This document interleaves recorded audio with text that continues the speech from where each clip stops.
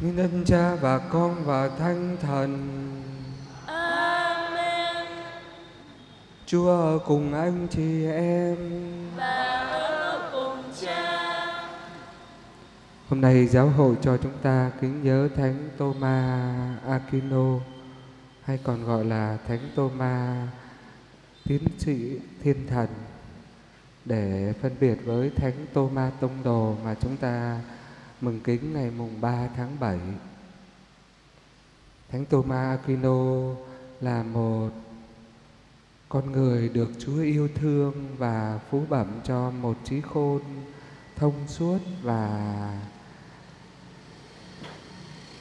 hăng say trong việc tra cứu lời Chúa, kinh thánh và thánh nhân cũng vừa là một triết gia, cũng là một nhà thần học nổi danh. Ngài đã suy tư, chiêm niệm và ghi chép lại nhiều sách tu đức và giảng dạy trong trường đại học.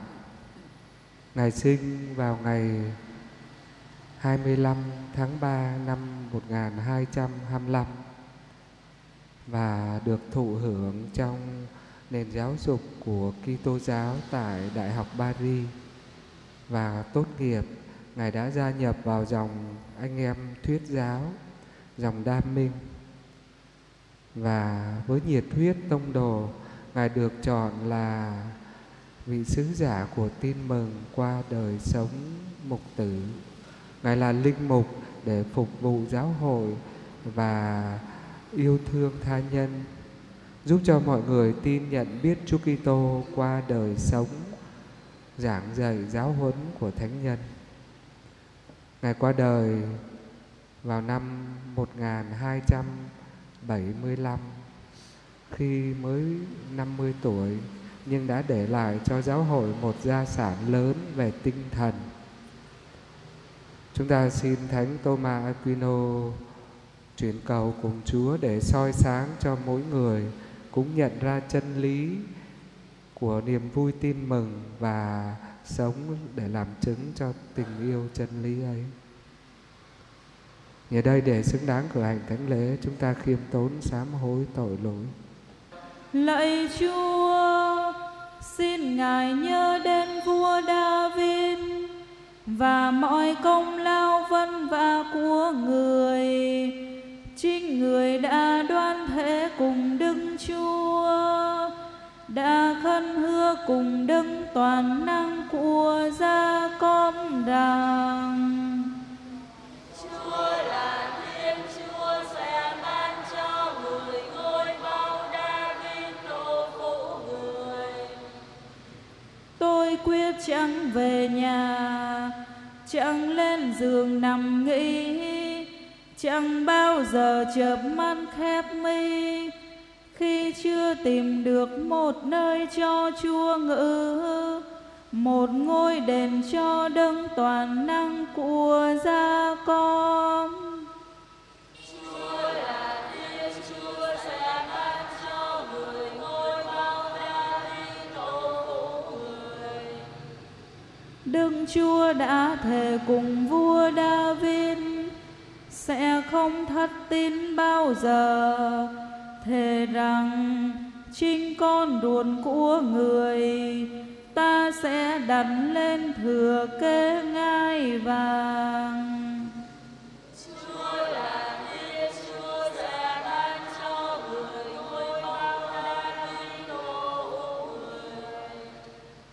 con cái ngươi mà giữ giao ước của ta và mẫn lẫn ta truyền cho chúng thì con cái chúng đến muôn đời cũng sẽ được lên kế vị người.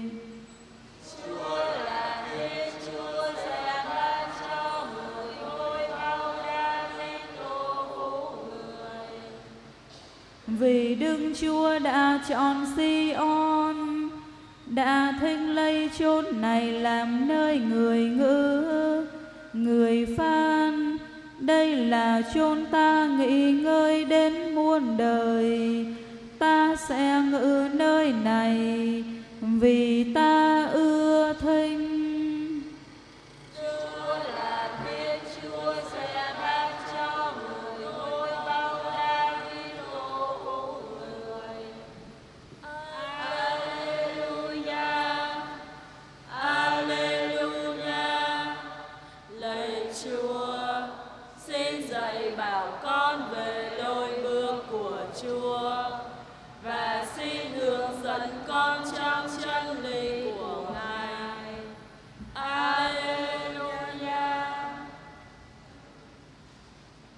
Chúa ở cùng anh chị em.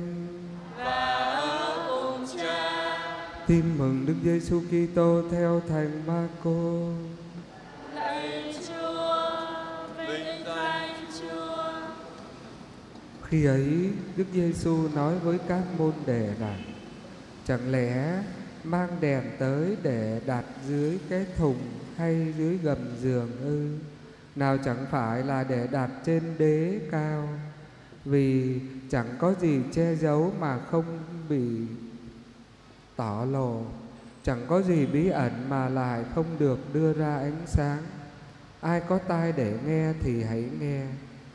Người lại nói với các ông, hãy để ý tới điều anh em nghe. Anh em đong bằng đấu nào thì Thiên Chúa cũng sẽ đong bằng đấu ấy lại cho anh em. Vì ai đã có thì được cho thêm, còn ai không có thì ngay cái đang có cũng sẽ bị lấy đi. Đó là lời Chúa. lạy Chúa Kitô ngợi khen Chúa Thưa cộng đoàn vùng vụ Trang tin mừng hôm nay có thể tóm lược lại một câu ý nghĩa đáng nhớ là anh em đong bằng đấu nào thì sẽ được đong lại bằng đấu ấy. Trong cuộc sống rất bình thường, khi chúng ta soi mặt vào gương, chúng ta mỉm cười, lạc quan, vui vẻ, thì chính khuôn mặt, cung cách con người ấy cũng phản chiếu ra trong gương còn khi cuộc sống chứa đầy sự giận hờn, buồn bực, chán nản thì cũng không khác gì chúng ta phản ứng ra bên ngoài những cung điệu của cuộc sống buồn chán, bi quan và tẻ nhạt đó. Trong giao tế gặp gỡ giữa người với nhau cũng vậy. Cũng có sự gặp gỡ yêu thương và hài hòa khi chúng ta có được một tâm tình bao dung vị tha quảng đại và chính lời Chúa cũng đã nói với chúng ta, đong bằng đấu nào thì sẽ được đong trả lại bằng đấu ấy. Khi chúng ta rộng lượng, hài hòa, bao dung với người xung quanh, thì chính người xung quanh cũng sẽ cư xử và tương tác lại trong cuộc sống mình như thế. Còn đối với thiên chúa là cội nguồn tình yêu thương. Ngài không chấp nhất hay buộc bắt chúng ta phải như thế này hoặc như thế khác thì thiên chúa mới thi ân, mới giáng phúc. Ngài thấu tỏ và biết rõ. Nhưng ngài muốn cho con người biết thăng tiến biết nỗ lực để hoàn thiện cuộc sống qua những biểu tỏ của niềm tin, qua những gặp gỡ, yêu thương và trao ban. Để chính lúc mà chúng ta có những tâm tình, những thái độ, những nghĩa cử yêu thương bao dung tốt đẹp với tha nhân, thì đấy chính là lúc chúng ta biểu tỏ một khuôn mặt một dung mạo của chính nguồn tình yêu là thiên chúa. Ngài tốt lành, thánh thiện. Ngài là đấng mang lại niềm vui và bình an đích thực. Cho nên, dưới ánh sáng lời chúa hôm nay, xin chúa cho chúng ta ý thức được khi chúng ta đã nhận lãnh đấu hảo hàng đấu tốt lành từ thiên chúa qua những ơn lành ngài ban thì chúng ta cũng biết sẻ chia, trao ban tình yêu và lòng quảng đại của thiên chúa đến với mọi người. Khi chúng ta biết sống yêu thương, quảng đại hài hòa với hết thảy mọi người.